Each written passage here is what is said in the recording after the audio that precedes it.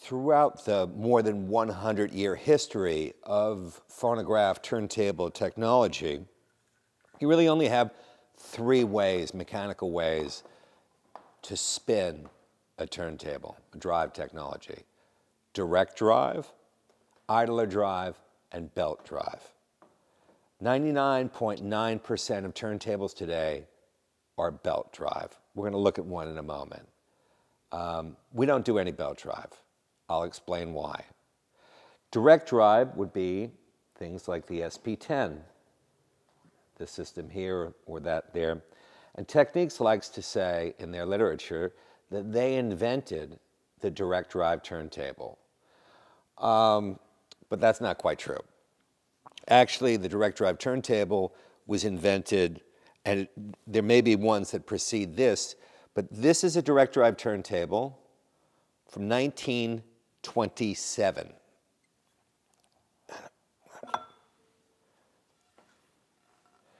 And if you look at this carefully, you'll see that each time the motor turns, the platter turns one revolution. And this is an ingenious motor where this metal plate passes through, I guess this is kind of an induction thing, these two coils. And so every time this turns once, the platter turns once. It says Western Electric Croker motor.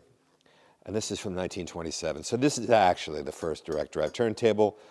All of the cutting lathes and all of the early professional turntables, all of them were direct drive. Uh, the problem with direct drive was that it was relatively noisy because the motors were so powerful. They had to be powerful because the system, mechanical system that they were dealing with, was massive. So let's take a little look over here at such a direct drive turntable.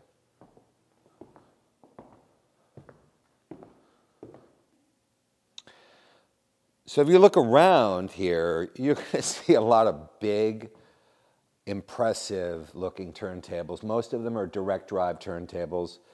In fact, this one, which we're in the process of restoring, was made by Fairchild, super rare, with huge motor and three big rubber belts that um, turned a flywheel. Very few of these were ever made. Um, why do we have all of these turntables? It's not because uh, I'm interested in collecting turntables. There's one reason, and that is that if you want to design the best sounding turntable in the world, you had better know what came before you. You had better know what the engineering was back when everything was records, everything was turntables, and the best minds in the world were working on and designing these systems.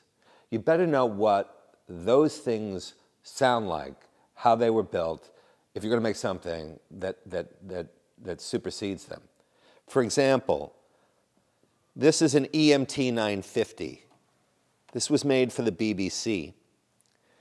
When, when you moved the tone arm over the platter, and this is on, it actually has a groove indicator. It tells you what groove number your, your, your needle is in. This was so expensive, it probably cost as much as a Mercedes-Benz.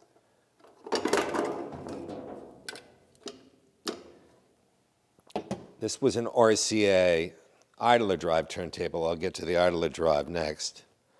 Um, this was the classic RCA 70D radio broadcast studio transcription turntable. These were made in the 40s, I guess up until the early 50s. Unbelievable, expensive well engineered, well built thing. You'll notice that the platter is not a 12 inch platter, it's a, it's a 16 inch platter. This is obviously not a, a normal size record. Often in radio stations, this would be the playback arm. There might have been a lathe here, and if they were doing original programming, they would actually put a lacquer master and cut a, a recording of what they were broadcasting for posterity for other stations. That was before tape, which came about in the late 1940s.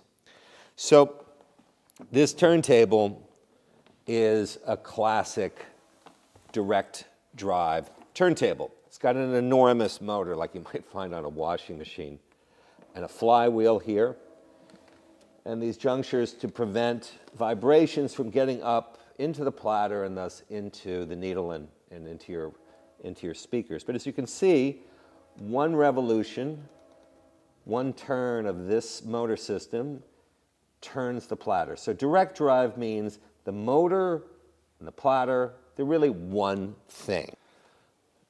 So if this is such a superior method for driving a turntable, why, why don't you see this today? Well, look at how big this is. This was so expensive that even RCA didn't want to make these when idler drive turntables started to, to become popular. Um, it was just the most expensive thing to do. And um, another problem is that this was a turntable that was made during the, mo the mono era, right? So mono, the recordings were lateral only. There wasn't any vertical thing going on in, in the groove. Now, the noise that this generates in the mono lateral direction doesn't register so well. But once you have stereo picking up this, you'd pick up more noise. So this was this would be a quite a noisy turntable to use for stereo, not for mono. It's great for mono. Um, this became uh, essentially outmoded. Became outmoded because of this for home use. This is just a, I don't even know why we have this here, except I think it's really cool looking. This was a home turntable from the probably late 50s or early 60s. It was made by an American company called Rek-O-Kut. It's a very, very nicely made piece of kit here. Uh, this is a belt drive turntable. And I'll show you how that works. We lift this off. Here's our platter. There's uh, a nice little motor here. And here's the shaft to the motor and a belt. It's really simple. Belt goes around the shaft and it turns the platter. Big advantages to this, if there's any noise in the motor, the belt isolates it from the platter. If the motor is right underneath the platter and part of the platter, the noise goes right into the system. You can't have that. You have to have an incredibly expensive, precise, high quality motor to have a direct drive turntable.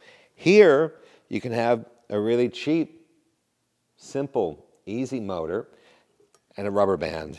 That's all it is. This is what 99.99% of turntables use today. Doesn't matter whether they're 50 bucks or $500,000. And yes, today you can spend $500,000 on a belt drive turntable that uses a motor that's actually made around this time. I'm not going to go into the people who make that, but pretty remarkable. We don't do belt drive turntables. Why? Because they suck. We do direct drive or we do idler drive. This is a, a system that came out of the uh, CBC in Toronto, Canadian Broadcasting. And uh, as you can see, these are 16 inch, 16 inch decks. It's quite interesting to see the idler mechanism inside of here. You can see insane build quality. Okay. Direct drive turntables were the thing in radio broadcast and in studios. They were very, very expensive and big. Um, and when idler drive technology started to become more popular after World War II, even in broadcast decks like this McCurdy from the, that was made for the CBC, you started to see big professional idler drive decks, uh, taking the place of the direct drive decks. It's quite interesting how they worked. This is called an idler wheel. It's a rubber puck, and there's three on this, one for each speed, 33, 45, and 78. Here's the motor. The motor has three different diameter shaft points for contacting each one of these pucks. So as this is playing, because the platter's off, right, the, one of the pucks is contacting the motor, and the other end of the puck is contacting the inside of the, of the platter. And that means that if there's any, any force that is slowing down the platter, the puck is caught between the platter's edge and this motor, which is a big, powerful motor, and it resists instantly. It resists being slowed down. And you might say, well, like, wow, this is this huge thing, big platter, big motor. Look at these pucks. Here's, here's a typical tone arm from the time. What's going to slow this down? And the interesting thing about vinyl playback, whether it's from this period or even today, is that as the stylus is playing music in a groove, when it gets to a loud passage, for example, say somebody hitting the piano hard or loud rock music, those modulations, it's more difficult for this, for the stylus to track that, and it slows the platter down. And if you don't resist that, what happens is everything kind of loses its pace and the transients don't feel as impactful. Basically, the music isn't as interesting to listen to. So what's really important in turntable design is not so much the absolute speed stability, which like a belt is fine with that. It's how well does the system respond to changes in speed at a very, very minute sort of uh, amount in time. How quickly does it correct for speed? And that's what I want to talk to you next about with the direct drive turntables uh, that we are, we are now making.